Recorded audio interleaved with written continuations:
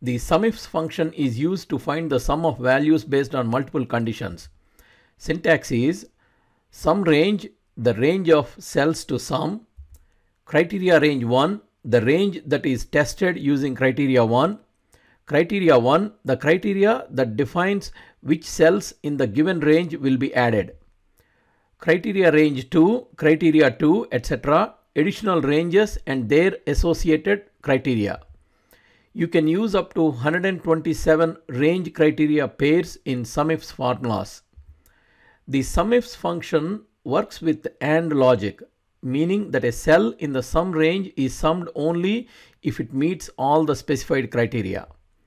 For example, we have region in column A, product in column B, and sales in column C. To find the sum of sales of apples in East region, use this formula.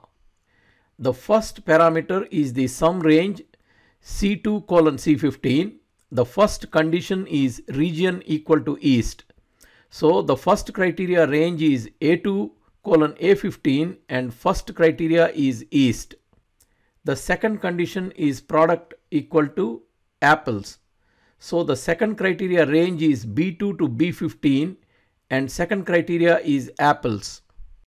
The first criteria checks to see if the region is east and the second checks to see if the product is apples and adds the sales only if both the conditions are met.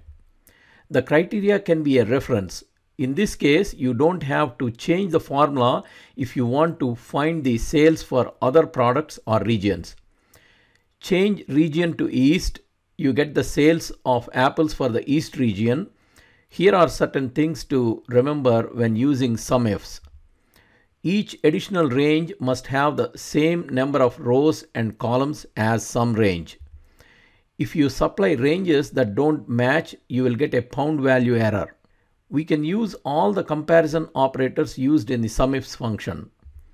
For example, to sum all sales of apples in East region where sales is greater than or equal to 300, add the third criteria range C2 colon C15 and third criteria is greater than or equal to 300 to sum values with several sets of multiple OR conditions, you can use the SUMIFS.